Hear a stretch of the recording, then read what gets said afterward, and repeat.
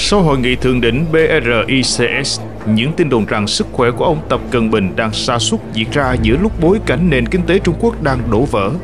Tất cả đã buộc chúng ta phải đặt câu hỏi rằng chính quyền Trung Quốc sẽ tồn tại được thêm bao lâu và điều gì sẽ xảy ra tiếp đó.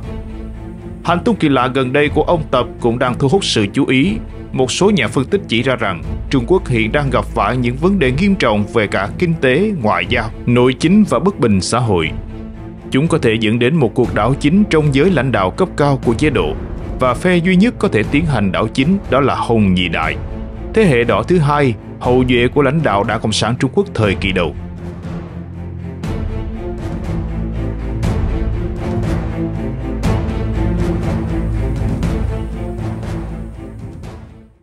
Trong những tháng gần đây, ông Tập đã không đến các vùng lũ lụt ở Hà Bắc để thị sát. Ông cũng bỏ lỡ cuộc họp xây dựng đảng trong toàn quân của quân đội Trung Quốc. Trong chuyến thăm Nam Phi, ông cũng bất ngờ bỏ lỡ bài phát biểu quan trọng tại diễn đàn doanh nghiệp BRICS, khiến truyền thông quốc tế bàn tán sôi nổi. Sau khi từ Nam Phi trở về nước, ông lại bay thẳng đến Tân Cương chứ không quay lại Bắc Kinh. Sau đó trên mạng Internet lan truyền đoạn video ghi lại cảnh một lượng lớn xe tăng di chuyển ở Thạch Gia Trang, một thành phố thuộc tỉnh Hà Bắc nằm sát sườn Bắc Kinh và lại gây ra nhiều đồn đoán khác nhau. Mới đây, hôm 4 tháng 9, Trung Quốc chính thức tuyên bố Thủ tướng Trung Quốc Lý Cường sẽ tham dự hội nghị thượng đỉnh G20 lần thứ 18 ở New Delhi, Ấn Độ từ ngày 9 đến ngày 10 tháng 9 đây sẽ là lần đầu tiên ông Tập Cận Bình bỏ lỡ hội nghị thượng đỉnh này kể từ khi ông trở thành chủ tịch nước. Nhà bình luận thời sự Nhạc Sơn nói với đài NTD rằng sau khi từ Nam Phi bay thẳng tới Tân Cương, ông Tập Cận Bình đã 8 lần liên tiếp nói về ổn định. Điều này cho thấy tình hình trong nước Trung Quốc đang rất bất ổn. Kể từ khi bước vào nhiệm kỳ thứ ba, ông ngày càng lo lắng về việc bị ám sát. Việc ông Tập bất ngờ biến mất khỏi hội nghị thượng đỉnh BRICS khiến không ít người cho rằng ông đang lo lắng về vấn đề an ninh. Giáo sư Hứa Thành Cương, nhà nghiên cứu thỉnh giảng tại Viện Hoover của Đại học Stanford, Mỹ đã đưa ra dự đoán về tình hình chính trị của Đảng Cộng sản Trung Quốc và cho rằng ông Tập Cận Bình có khả năng sẽ bị lật đổ bởi một cuộc đảo chính trong cung điện, ám chỉ sự tranh giành quyền lực trong nhóm cầm quyền. Và phe duy nhất trong đảng có thể làm lung lay ngôi vị của ông Tập chính là Hồng Nhị Đại. Nhà bình luận Hồng Kông Nhan Thuần Cưu một người làm truyền thông thâm niên mới đây đăng bài trên Facebook cá nhân và chỉ ra rằng trong hầu nhị đại có ba nhóm người. Một là những người giữ chức vụ cấp cao trong đảng và nhà nước như ông Tập Cận Bình. Hai là những người đi vào kinh doanh hoặc chiếm những vị trí cao nhất trong doanh nghiệp nhà nước. Ba là những người được tiếp nhận nền giáo dục phương Tây, chỉ làm công việc chuyên môn, không tham gia chính trị cũng như kinh doanh. Họ cảm thấy chán nản với nền chính trị Trung Quốc. Ông Nhan cho rằng giữa Hồng Di Đại và ông Tập Cận Bình không có xung đột lợi ích căn bản. Nhưng tính mạng của bản thân và gia đình họ lại phụ thuộc vào sự hưng suy tồn vong của Đảng Cộng sản Trung Quốc. Vấn đề bây giờ là Đảng Cộng sản Trung Quốc đã và đang lung lay bất ổn, dường như cơ hội để ông tập vực dậy đảng này là rất mong manh. Trước viễn cảnh chế độ sụp đổ, Hồng Di Đại sẽ buộc phải lựa chọn thay người cầm quyền. Nhưng vấn đề là ông Tập Cận Bình đã tại vị suốt 10 năm và cũng đã loại bỏ những phần tử đối lập. Còn các Hồng Di đại khác thì không có thành tựu phát triển gì. Họ không tìm được ai có thể thay thế ông Tập. Trong khi đó, nhà bình luận thời sự Đường Tĩnh Viễn cho rằng hành tung bí ẩn gần đây của ông Tập Cận Bình rất có thể là do lo ngại về sự an toàn của bản thân. Ông phân tích rằng, trong một thể chế như Đảng Cộng sản Trung Quốc, ông Tập Cận Bình càng tập trung mọi quyền lực vào mình và độc quyền mọi nguồn lực thì càng gặp nhiều sự phản kháng trong nội bộ đảng. Những người chống lại ông ấy, muốn giết ông ấy và muốn âm mưu xử lý ông ấy có thể nói là nhiều hơn bao giờ hết. Bây giờ ông ấy thực sự cô độc lẻ loi. Ngoài trừ một số thân tín thì có lẽ ông ấy không thể tin tưởng những người khác. Ông ấy có thể coi họ như kẻ thù tiềm tàng. Trên thực tế, có thể có rất nhiều người trong số này coi ông ta là kẻ thù và họ có tài nguyên, có súng, có quyền lực, tài lực trong tay.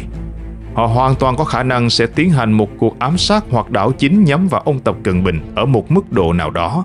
Ông Tập Cận Bình là nhà lãnh đạo duy nhất của Đảng Cộng sản Trung Quốc công khai bày tỏ niềm tin và sự tồn tại của thần Phật.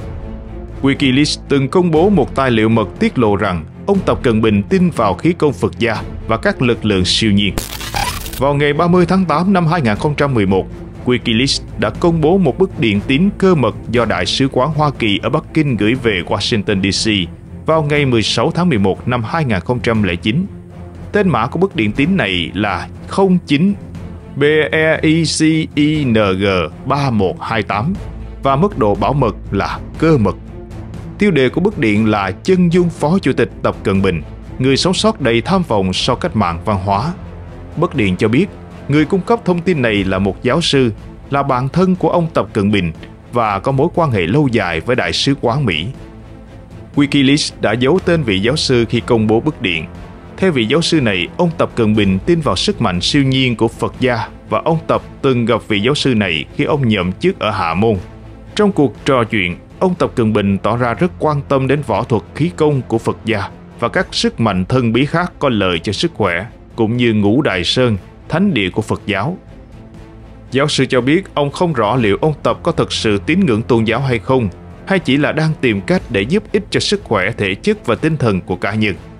Dù sao đi nữa, vị giáo sư cũng vô cùng ngạc nhiên trước sự hiểu biết của ông Tập về chủ đề sức mạnh siêu nhiên. Ngoài ra, truyền thông Đảng Cộng sản Trung Quốc còn từng đưa tin vào ngày 7 tháng 1 năm 2014, ông Tập Cận Bình đã phát biểu tại Hội nghị Công tác Chính trị và Pháp luật Trung ương rằng đừng chỉ nhìn vào những việc làm đắc ý ngày hôm nay, cẩn thận sau này tội trạng quấn thân, đều sẽ ứng nghiệm. Đừng làm chuyện như thế, trên đầu ba thước có thần linh, nhất định phải có lòng kính sợ. Có thể thấy ông Tập tin rằng có thần linh và tin rằng thiện ác hữu báo.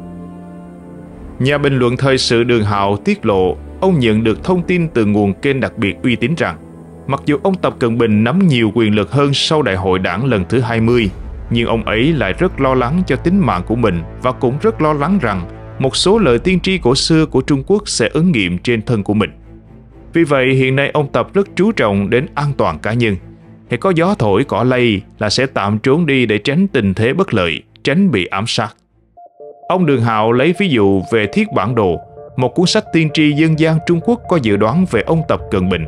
Thiết bản đồ nhắc đến Bạch Vũ Chi Điểu sẽ trở thành vong đảng chi quân, tức là con chim lông trắng sẽ trở thành vị quân chủ của thời đảng bị diệt vong. Mà chữ Vũ đặt bên trên chữ Bạch chính là chữ Tập, tức là họ của ông Tập Cận Bình trong kiểu chữ tiếng Trung phồn thể. Hơn nữa, cuốn tiên tri này còn nói rằng con chim lông trắng sẽ đâm vào vách núi mà chết. Điều này được cho là dự báo rằng vì bảo vệ đảng mà ông Tập Cận Bình sẽ có kết cục bi thảm. Còn một cuốn sách tiên tri nổi tiếng khác được cho là cũng nhắc đến ông Tập Cận Bình là Thôi Bối Đồ do hai nhà thiên văn học, chim tinh học, bậc thầy về tiếng số, phong thủy và tiên tri thời đường là Viên Thiên Cang và Lý Thuần Phong đồng sáng tác vào những năm trinh quán 626 đến 649 thời vua Đường Thái Tông. Vào tháng 11 năm 2015, ông Tập Cận Bình và Tổng thống Trung Hoa Dân Quốc Đài Loan, khi đó là ông Mã Anh Cửu đã tổ chức cuộc gặp tập mã tại Singapore. Vào thời điểm đó, tờ Nhân dân Nhật Báo, cơ quan truyền thông hàng đầu của Đảng Cộng sản Trung Quốc, đã viết một bài báo và trích dẫn lời tiên tri trong Thôi Bối Đồ về sông Vũ Tứ Túc và nói rằng sẽ là bỉ cực Thái Lai. Bài viết giải thích rằng quẻ tượng này có thể là điềm báo về cuộc gặp tập mã vì sông Vũ, hai cánh ám chỉ chữ tập trong tập Cận Bình và tứ túc bốn chân là ám chỉ chữ mã trong mã Anh Cửu. Trên thực tế, quẻ tượng thứ 46 của Thôi Bố Đồ cũng có liên quan đến ông Tập Cận Bình, bởi vì quẻ tượng này gần như trực tiếp nêu tên ông Tập Cận Bình, đồng thời cũng đề cập đến một cuộc đảo chính. Trong quẻ tượng có một bài thơ như sau. Hữu nhất quân nhân thân đới cung, chỉ ngôn ngã thị bạch đầu ông, đồng biên môn lý phục kim kiếm, dũng sĩ hậu môn nhập đế cung. Tạm dịch, có một quân nhân đeo cung bên mình, chỉ nói rằng ta là ông đầu trắng, cửa ngõ phía đông mai phục kiếm vàng, dũng sĩ nhập thế cung từ cổng sau. Ba chữ nhất, nhân, cung trong câu đầu tiên ghép lại thành chữ di trong tiếng Hán cổ. Chữ di và chữ bình, tức chữ bình trong tên tập cận bình, mang nghĩa giống nhau, đều là bình yên. Còn trong câu 2, chữ ông do chữ công và vũ ghép thành.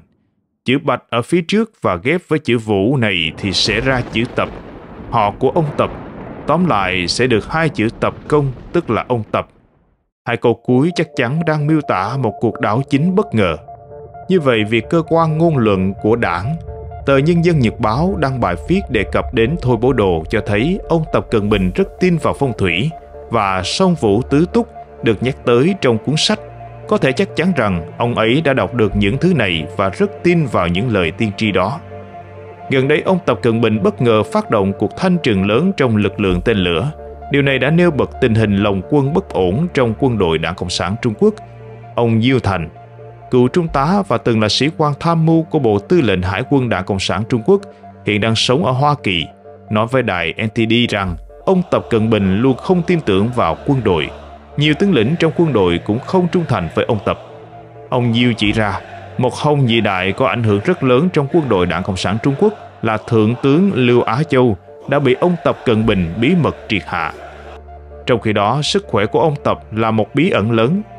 Có nhiều tin đồn gia dẳng như có các dấu hiệu thể chất cho thấy ông Tập đang gặp những vấn đề nghiêm trọng về sức khỏe vượt quá mức mà một người đàn ông bước vào độ tuổi 70 sẽ gặp phải. Nếu ông ấy qua đời hoặc không thể hoạt động bình thường, thì sẽ có một cuộc chiến cho vị trí lãnh đạo, tương tự như sau khi cái chết của Mao Trạch Đông. Quy mô của một cuộc chiến đó sẽ cực kỳ lớn và phần lớn sẽ phụ thuộc vào những tính toán của các ban lãnh đạo Đảng Cộng sản Trung Quốc, cũng như lòng trung thành của quân đội Trung Quốc và Bộ An ninh Quốc gia. Cả lực lượng quân đội và an ninh không còn nghi ngờ gì nữa sẽ tự bị chia rẽ sâu sắc bởi chủ nghĩa bè phái. Hai tổ chức này sẽ là những tay chơi chủ chốt trong cuộc chiến, đặc biệt là quân đội. Nhưng cả hai đều có thể tạo ra chủ nghĩa Bonaparte, đồng thời có thể duy trì, thay đổi hoặc tiêu diệt chính quyền Trung Quốc tùy theo khuynh hướng của họ. Sự kiện ông tộc qua đời sẽ mang đến cơ hội tốt nhất cho người dân Trung Quốc hay cộng đồng hải ngoại trong việc lật đổ Đảng Cộng sản Trung Quốc, vì đây sẽ là thời kỳ đảng dễ bị tổn thương nhất như sau khi cái chết của Mao Trạch Đông hay Đặng Tử Bình. Tuy nhiên, không giống như lúc Mao Trạch Đông qua đời, khi lực hướng tâm của chủ nghĩa Mao vẫn còn mạnh mẽ, thì hiện tại ở Trung Quốc không có lực nào như vậy. Cũng không giống như thời Đặng Tiểu Bình, nền kinh tế Trung Quốc hiện đang chững lại, đang suy thoái.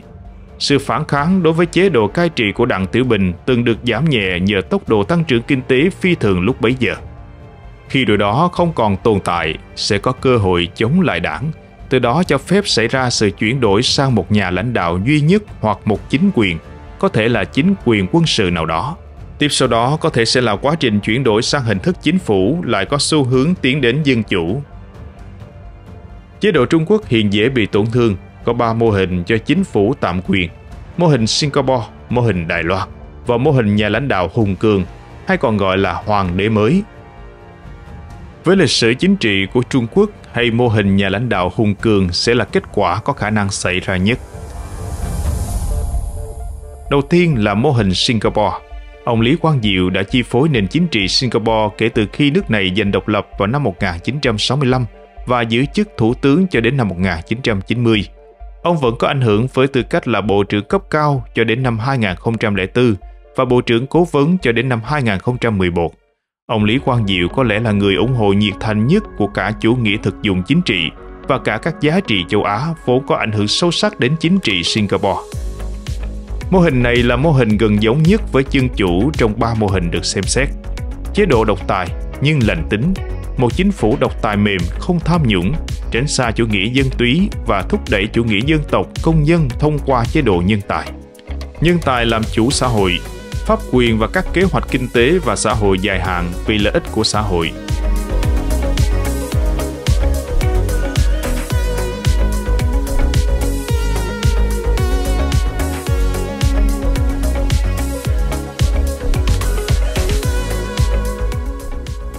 Tiếp theo là mô hình Đài Loan. Với mô hình Đài Loan, sự chuyển đổi của Trung Quốc sẽ đi theo con đường giống như Trung Hoa Dân Quốc, tên chính thức của Đài Loan. Đó là Quá trình chuyển đổi kéo dài nhiều thập kỷ từ chính quyền quân sự dưới thời tượng giới thạch sang chế độ độc tài và cuối cùng sang chế độ dân chủ. Trong trường hợp này, bộ máy quân sự và an ninh Trung Quốc sẽ thành lập một chính quyền quân sự tồn tại trong một thời gian ngắn, có thể là hàng thập kỷ. Sau thời kỳ này, nó sẽ chuyển sang một chế độ độc tài mà chấp nhận sự tham gia ở mức hạn chế của chính trị. Giống như mô hình Singapore, điều này có thể diễn ra trong nhiều thập kỷ trước khi chuyển sang chế độ dân chủ. Theo mô hình Đài Loan, Trung Quốc cũng sẽ không tự do, thậm chí phi tự do.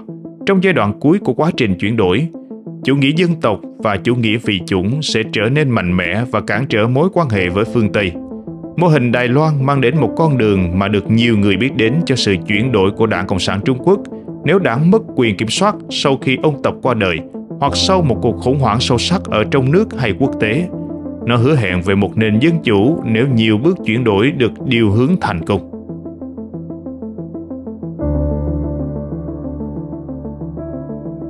Mô hình nhà lãnh đạo hùng cường Theo kịch bản nhà lãnh đạo hùng cường John Mann, Trung Quốc sẽ có một vị hoàng đế mới giống như Oliver Cromwell trong nội chiến Anh hoặc Napoleon Bonaparte của cuộc đảo chính năm 1799 lật đổ chế độ độc tài quân sự. Trong bối cảnh Trung Quốc, mô hình nhà lãnh đạo hùng cường chính là bước trở về với nền chính trị Trung Quốc trong nửa đầu thế kỷ 20. Là sự cai trị của Tôn Trung Sơn hay Tượng Giới Thạch, đây sẽ là một sự cai trị độc tài mạnh mẽ của một nhà lãnh đạo duy nhất. Như các ví dụ từ Trung và Đông Âu đã chứng minh, quá trình chuyển đổi hậu cộng sản luôn khó khăn. Nó có thể sẽ dẫn đến mô hình nhà lãnh đạo hùng cường như chúng ta đã chứng kiến ở Nga và một số quốc gia cộng sản cũ ở Trung Âu, như là sự cai trị của Vladimir Mesia ở Slovakia những năm 1990 hay Slobodan Milosevic ở Nam Tư cũng trong thập kỷ đó. Những quốc gia này đã có một quá trình chuyển đổi sang dân chủ đầy khó khăn và tất nhiên Nga chưa bao giờ chuyển đổi sang dân chủ. Một Cromwell hay Bonaparte sẽ đến từ quân đội, Đảng Cộng sản Trung Quốc hoặc bộ máy an ninh, như là điều Tổng thống Nga Vladimir Putin đã làm.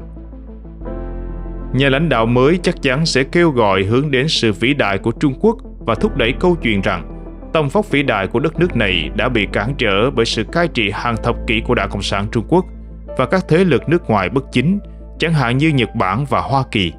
Nếu Đảng Cộng sản Trung Quốc thất bại, thì Trung Quốc sẽ đi theo con đường của Nga, hướng tới sự cai trị độc tài ngày càng mạnh mẽ.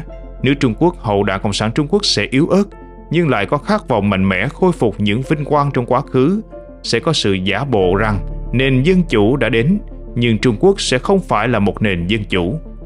Tóm lại, quá trình phát triển chính trị tại Trung Quốc sẽ đòi hỏi nhiều chuyển đổi, sẽ có sự biến hóa từ chính thể cộng sản sang chính thể hậu cộng sản. Trung Quốc thời hậu Đảng Cộng sản Trung Quốc có thể sẽ trải qua nhiều quá trình chuyển đổi tiếp theo nữa. Một quá trình chuyển đổi đều sẽ khó khăn và mang nhiều rủi ro liên quan đến sự ổn định ở Trung Quốc cũng như những tác động của chúng đối với chính trị thế giới. Hơn nữa, một nước Trung Quốc thời hậu Đảng Cộng sản Trung Quốc sẽ được cai trị bởi một nhà lãnh đạo vĩ đại duy nhất, về cơ bản là một hoàng đế. Như đã từng xảy ra trong quá khứ của Trung Quốc, điều này là do lịch sử chính trị, truyền thống và văn hóa Trung Quốc, cũng như môi trường đe dọa bên ngoài mà Trung Quốc phải đối mặt. Và như thế thì Trung Quốc vẫn trong nguy hiểm. Vấn đề cuối cùng là ở mức độ nào mà hình thức chính phủ lai kết hợp với một số yếu tố dân chủ vào cái có thể là một chính phủ độc tài được lãnh đạo bởi một nhà lãnh đạo hùng cường hoặc một chính quyền trong nhiều thập kỷ sẽ xảy ra. Như điều đã xảy ra ở Nga hay Trung Quốc dưới thời Tô Trung Sơn và Tưởng Giới Thạch trước đây, trước cuộc xâm lược của Nhật Bản. Những vấn đề sức khỏe bí ẩn của ông Tập đòi hỏi chúng ta phải phân tích về những gì sẽ xảy ra sau khi ông Tập qua đời hoặc mất khả năng hoạt động bình thường. Cũng như về cách người dân Trung Quốc và cộng đồng hải ngoại có thể tác động đến diễn biến chính trị tại Trung Quốc mọi chuyện có thể đến với chúng ta sớm hơn dự đoán. Và đến đây, chương trình của chúng tôi xin phép tạm dừng. Quý vị hãy để lại bình luận của mình ở bên dưới để cùng thảo luận với chúng tôi. Hy vọng quý vị đã yêu thích video ngày hôm nay. Còn bây giờ thì xin chào và hẹn gặp lại trong các chương trình tiếp theo.